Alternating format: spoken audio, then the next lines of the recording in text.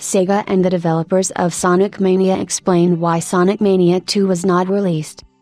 After the warm reception of the original, it was surprising that the second part was never released. Why this happened was told by the creative director of Sonic Team Takashi Iizuka. After completing work on Sonic Mania, we worked with Sega to develop the concept of the next generation classic Sonic.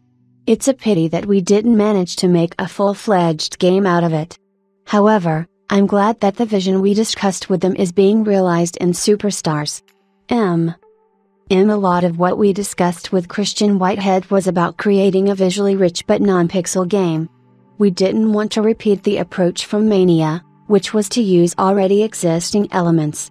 Instead, we wanted to create something completely new, with completely new levels. It was after Mania that a flurry of ideas began, but everything was interrupted. When we started working on Sonic Superstars with Mr. Oshima's team, a lot of what we talked about earlier with Christian became more clear, and we started creating a new game in the same vein let's create something new and let's not rely on pixels. Sonic Superstars is in a sense what Sonic Mania 2 was supposed to be. A lot of ideas have fallen into the new project about the Blue Hedgehog, but there will be a lot of differences.